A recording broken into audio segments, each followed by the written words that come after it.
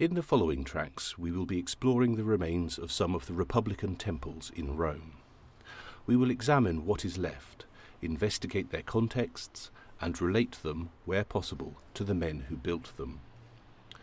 We start below the western slopes of the Capitoline Hill at the Temple of Apollo.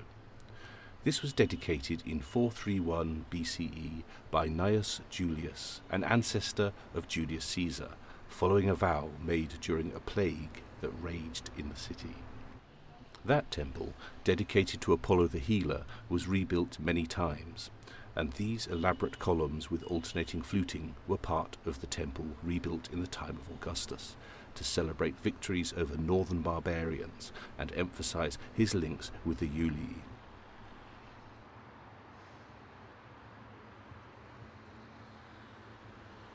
To the south, on the other side of the Theatre of Marcellus, are three more temples, one next to the other, now partially incorporated into the church of San Nicola in Carcere. These were discovered in 1932 when the buildings around the church were demolished. The oldest is the furthest north. It was probably the temple dedicated to the two-faced god of beginnings, Janus, vowed in 260 BCE by Caius Duilius during his naval victory over the Carthaginians at Mylae in Sicily. Following this victory, he celebrated the first ever naval triumph, and the prows of the defeated vessels were taken and mounted as trophies on the rostrum in the Roman Forum. What remains is most of the columns from one side and two columns from the other. These stand upon the remains of the podium. The columns are ionic and made of grey tufo stone. Originally they were stuccoed to give the appearance of white stone.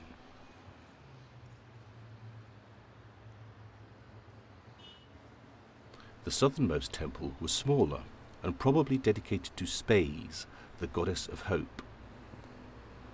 This was probably vowed by Aulus Atilius Calatinus during a victory over the Carthaginians and dedicated following a triumph in 257. The temple was built using the Tuscan order, and only one row of columns from the northern side are preserved, built into the walls of the church.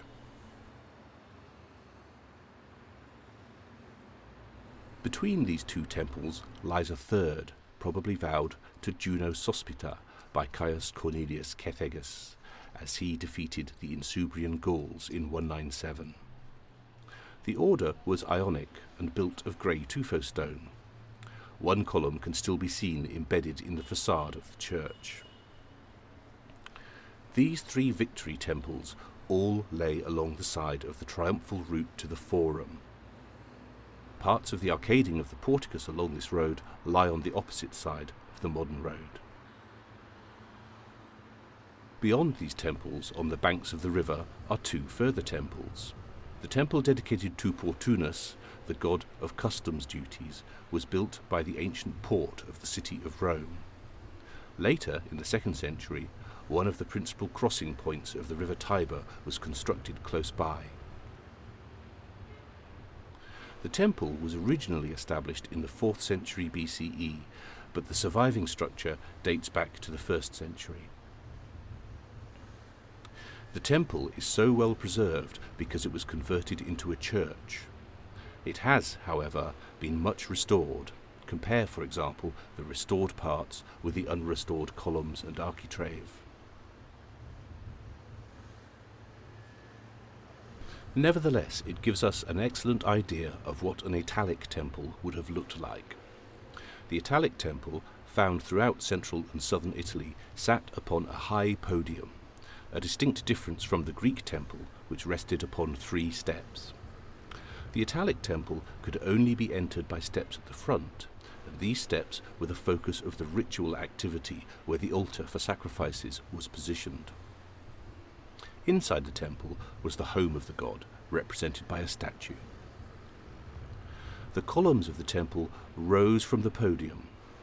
A Greek temple had freestanding columns on all four sides, but in an Italic temple, columns were usually only at the front of the temple. If there were columns to the sides, they were often engaged in the wall of the temple cella, forming a solid wall to the sides and rear of the temple. The columns and overall proportions of the temple are Ionic. This was a Greek order of architecture, but it was widely adopted throughout Italy. The pediment would originally have contained sculpture, but it is now bare. Today, this Ionic Italic temple is plain stone, but when new it would have been brightly painted, creating a very different effect. Next to the temple of Portunus lies another temple, probably dedicated to Hercules Olivarius, long known incorrectly as the Temple of Vesta. This unusual temple is a complete contrast to the Temple of Portunus. For a start, it's circular. It is built upon three steps and is constructed of bright white marble imported from the Aegean. All of these characteristics point one way. The temple was built to a Greek design using the Corinthian order. No details are known about who established the temple, but it was erected at the end of the 2nd century BCE. Other monuments to the semi-divine hero Hercules also lay in this area. A great altar is beneath this church, and his club was preserved nearby too, in close proximity to the temples of the victorious generals.